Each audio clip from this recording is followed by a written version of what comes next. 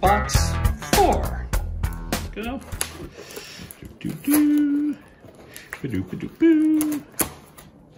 And this one was not opened by the TSA. Fresh open one. Uh-oh. Is that my dog? Maybe. Ugh. All right. Record Jungle. I went to the Record Jungle in LA and I found a nice copy of uh, Robert Palmer Clues, which uh, is always great. This is a great album. I love this album. And, uh, and so this is probably going to be an upgrade for me. Zappa, You Are What You Is, $14.99, double record set. This is on Zap uh, Barking Pumpkin. Uh, so uh, very happy about that. Cheap Trick Live at Budokan. When you can pick one of these up for less than 10 bucks, yeah, you're laughing, mate. Uh, oh, Hawkwind. Yes, Space Ritual Hawkwind. This is the six panel fold out, which uh, which is nice. Double record set, six panel fold out. And uh, yeah, quite a nice package. I, it is a little bit dusty, so I'm going to clean that up and get that ready to sell. I have a copy of that, so that's going to be one of the ones that I bring to the next record fair. Dimple Records bag. My friend Chuck brought me some stuff, and Dimple Records, unfortunately, is no longer a shop.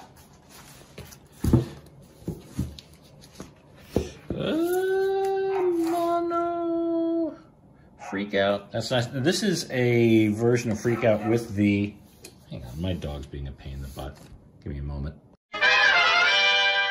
Oh, that wasn't my dog. That was the neighbor's dog. Now, this is a mono version of The Mother's Freak Out. Uh, an original pressing. Um, and you can tell they have this hot spots map, this offer. If you send a dollar into MGM Records, uh, you can they would send you a map of all the hot spots to freak out in Southern California. So um, this was taken off of future pressings. And uh, so, yes, that's how one way you could tell if it's an earlier first pressing. And there are uh, very few of those original maps available. I think maybe only a dozen or less. Um, so, yeah, it's uh, it's quite the find if you can ever get one of those. I passed up the opportunity to get a um, uh, one of those hotspots maps one time. I still kick myself to this day about that.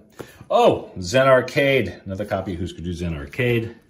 I found this copy of High and Dry uh, for rather cheap, 10 bucks. Uh, and I think I may have paid eight for it anyway. But look, it's, uh, I think this is the original, no, this is the reissue with the reverby bringing on the heartbreak.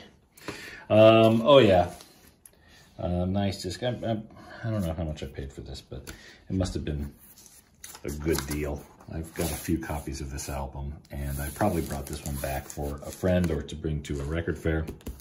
Well, I showed you the other Essential Jimi Hendrix. This is another one. This is also a promo. This is volume two. I think I showed you volume one, the other one. It's promo, and it has a seven-inch um, single in there for Gloria. Um, oh, yeah, here's another one. Got a good deal on this a Pecco label, Led Zeppelin 4. Grace Under Pressure. And I think I got these out of like a $10 box or something, $5, $10 box. Um, here it is, Minutemen, three-way tie for last. I was on the hunt for a copy of Minutemen um, uh, uh, Double Nickels on the Dime. I sold my copy uh, about a year ago, and I've always regretted it. I brought a, I bought a bunch of Minutemen, but uh, that's the one that, I, that eluded me this time. Oh, Bad Brains. That's nice.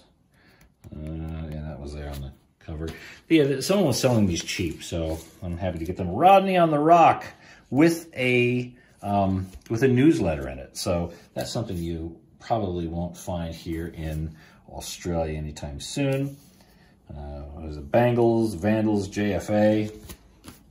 Um, oh yeah, Grateful Dead. I bought this promo version. Now, I'm not a huge Grateful Dead fan, but um, I think I can start here by kind of learning something. I'll put it on. I'll see what I think about it.